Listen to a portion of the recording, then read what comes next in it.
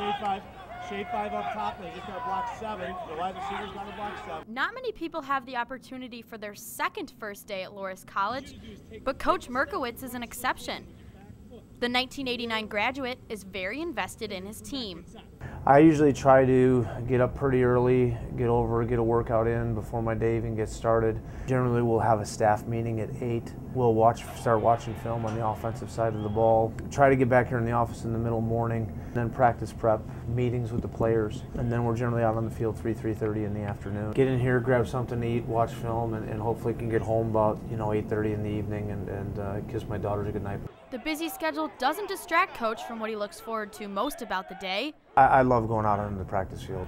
It's kind of that release. The best part of my day is when I get to go out there, you know, Tuesday through Friday. Coach Mierkiewicz gets to share the best part of his day with people that care about the team just as much as he does. I really enjoy the staff that we have.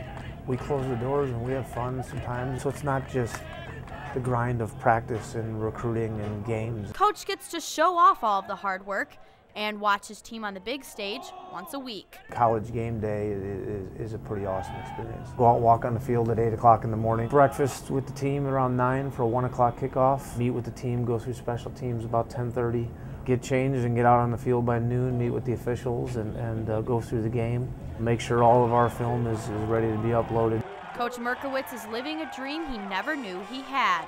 Had you told me 20 years ago that I would have been the head football coach here, I don't, I don't know if I'd have believed that. But.